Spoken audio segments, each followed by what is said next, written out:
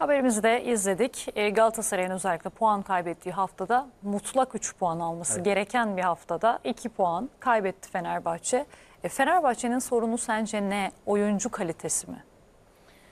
Tabii ki Fenerbahçe'nin sorunlarını anlatabilmemiz için bence özel bir program yapmamız gerekiyor yani. Ama özetlemek gerekirse eğer e, vaktimiz yettiğince birincisi Fenerbahçe'nin bence en büyük problemi sezon başında yapılan kadro mühendisliği hatası olduğunu düşünüyorum. Fenerbahçe'nin evet iyi oyuncuları var. Geniş bir kadrosu var.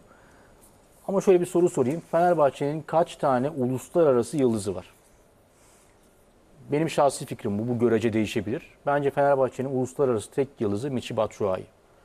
Onun dışında evet Ener Valencia iyi bir oyuncu. Emre Mor iyi bir oyuncu. Zayis, Salahi, Ferdi iyi oyuncular. Arda Güler müthiş bir yetenek.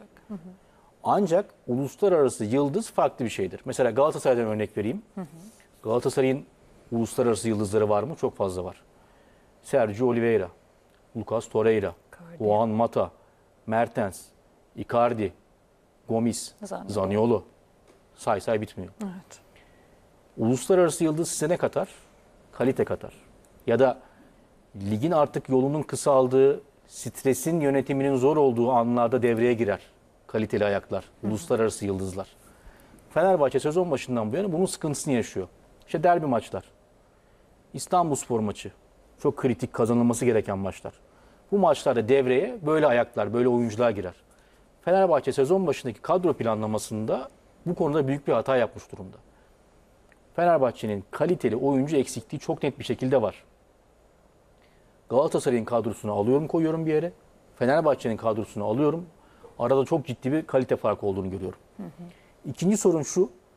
Fenerbahçe teknik direktörü Jesus sezon başından bu yana ne bir iskelet kurabildi ne de bir ideal 11 kurabildi. O sezon başında da çok iyi başladı ya. Bunu söyleyebiliriz. Evet çünkü orada 3 gün üst üste maç yapıyordu Fenerbahçe. Yani Avrupa Ligi vardı, lig vardı. Çok yoğun bir maraton ve Jesus orada geniş kadroyu çok iyi kullandı. Her maçta farklı oyuncular oynattı. Tüm oyuncularını hazır tuttu. Ama Fenerbahçe Dünya Kupası arasından sonra artık haftada bir maç temposuna girdi. Ve bu saatten sonra artık Jesus'un yapması gereken şuydu. Artık ideal bir 11 bulmak. Özellikle ligin son bölümünde artık sizin ideal bir 11'e ihtiyacınız vardır. Mesela ne diyoruz? Beşiktaş'ın derbi 11'i belli. Çünkü Şenol Hoca ideal bir 11 Evet, kurdu artık. Galatasaray'ın da. Galatasaray'ın da aynı şekilde bir iskelet var. Bir iki oyuncuyu bazen konuşabiliyoruz maksimum. Şimdi Fenerbahçe'yi Altay Bayındır'ı koyuyorum. Ferdi Kadıoğlu, Atilla Zalai, Ener Valencia. Bu oyuncuların dışında Fenerbahçe'nin sezon başından bu yana her maçta kullandığı oyuncu yok. Yani Fenerbahçe'nin bir savunma ikilisi mesela sezon başında başkaydı. Şimdi başka. Performansları birbirine çok yakın görüyor diye mi acaba tercih yapamıyor? Zaten sıkıntı bu. Siz 23 tane birbirine yakın düzeyde oyuncudan bir takım kuramazsınız. Mutlaka ve mutlaka takımın içinde önemli yıldızlar olması lazım. Ya da yedek kulübesinden katkı verebilecek oyuncular olması gerekiyor. Ama sizin elinizde eğer 22-23 aynı düzeyde oyuncu varsa bir saatten sonra takım içinde de bu oyuncuları idare etmek zor hale gelebilir. Fenerbahçe'nin mesela bir orta alan ikilisi yok. Her maç farklı bir oyuncu oynuyor. İsmail Ara oynuyor. İşte Zayus oynuyor. Crespo oynuyor. Son Mert maçta Hakan. işte şapkadan Mert Hakan çıktı mesela. Dolayısıyla Ener Valencia'nın mesela partneri Batshuayi oynadı, King oynadı. Evet. İşte Onun şu anda Pedro performansını da çok etkiliyor. Mesela Tabii ki son etkiler. haftalarda Etkilemez düşüşte. olur mu? Yani sizin artık sezonun son kısmında artık böyle e, bitime yakın bölümlerde bu kadar kadroyla oynamamanız gerekiyor. Bu da bence Fenerbahçe'nin en büyük sıkıntılarından bir tanesi. Üçüncü problem ki onu konuşuruz biraz sonra. Bir haberimiz de vardı bugün Takvim Gazetesi'nde. Evet. Jesus'un artık klasikleşen sezon sonu sendromları. Yani e, Dünya Kupası arası sonrası sürekli çıkan dedikodular, sözleşme tartışmaları, Brezilya'ya mı gidiyor, Portekiz'e mi dönüyor, Suudi Arabistan'a mı gidiyor, ses kayıtları, basın açıklamaları bence tartışmasız Samandıra'daki havayı bozdu. Yönetim de burada hamle yapması gerekiyordu. O hamle yapılmadı yönetim kısmında. Yani o Jesus'a Samandıra'nın anahtarı teslim edildi ama bir saatten sonra artık yönetimin orada devreye girip direksiyona geçmesi gerekiyordu Başkan Ali Koç'un. Başkan da bunu yapmayınca Samandıra'daki atmosfer yavaş yavaş yavaş düştü. Ve şu anda biz bu noktaya geldik.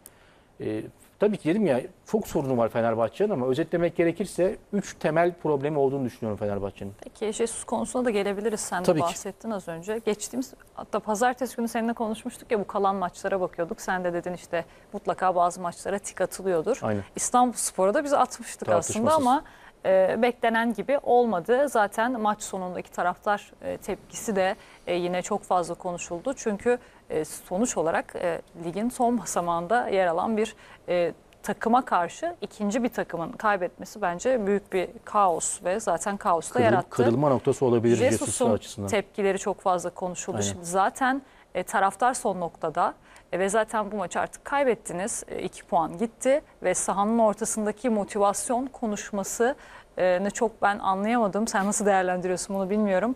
Bir de tabii taraftara tepki göstermesi e, neler söylersin? Yani Jesus çok iyi bir teknik direktör bence yaptığı hatalara rağmen. Ama çok da iyi bir oyuncu olduğunu düşünüyorum Jesus'un. Sezon başından bu yana bunları bize pasaj pasaj gösteriyor. İstanbulspor maçından sonra yaptığı tamamen bir şovdu. Bir sahne şovuydu. Orayı bir sahne olarak gördü. Çıktı şovunu yaptı orada.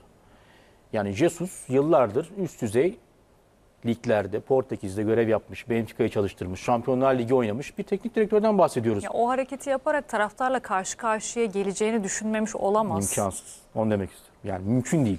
Jesus tecrübesinde bir teknik direktör ben bu hareketi yaparsam o reaksiyonu görürüm sorusuna mutlaka cevap vermiştir içinden. Bunu neden yapsın ki? Kendi PR'ını yaptı orada Jesus. Yani şunu yaptı orada.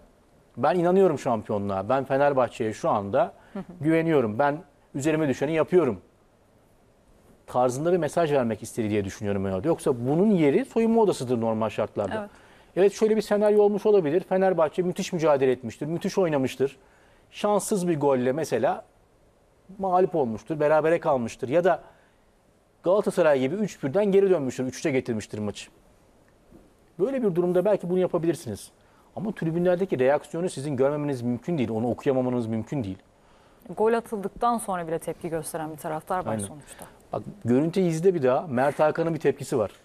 Mert Hakan diyor ki ne gereği vardı, ne yaptı hoca diyor. Böyle yapıyor kenara. Yani akılsız diyor hoca diyor. Resmen Mert Hakan bunu yapıyor.